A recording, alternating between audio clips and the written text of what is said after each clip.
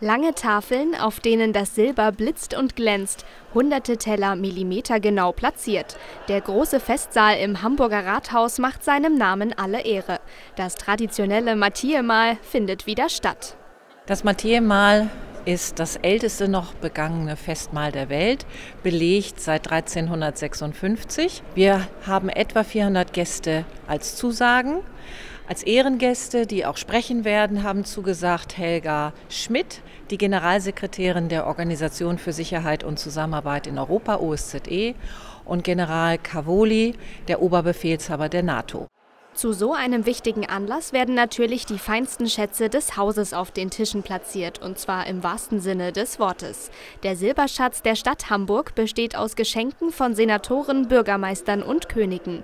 Eine Sammlung, die über Jahrhunderte hinweg gewachsen ist.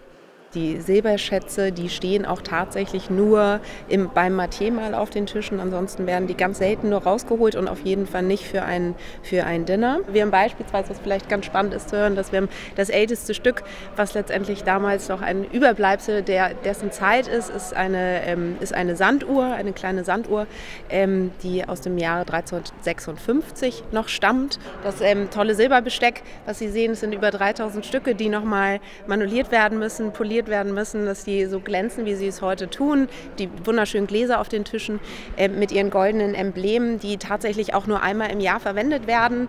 Insgesamt 120 Küchen- und Servicekräfte achten beim diesjährigen Mathieu-Mahl auf einen reibungslosen Ablauf.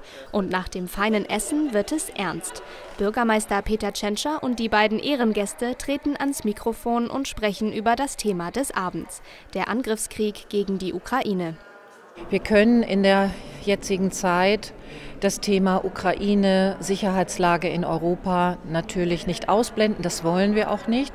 Wir wollen diesen Abend nutzen, zu diskutieren über die Lage in der Ukraine, aber auch um die Neuausrichtung der deutschen Außen- und Sicherheitspolitik in der Zeitenwende und natürlich auch die Frage stellen, inwieweit ist Hamburg als Stadt und auch als Bundesland betroffen von der Sicherheitslage in Europa.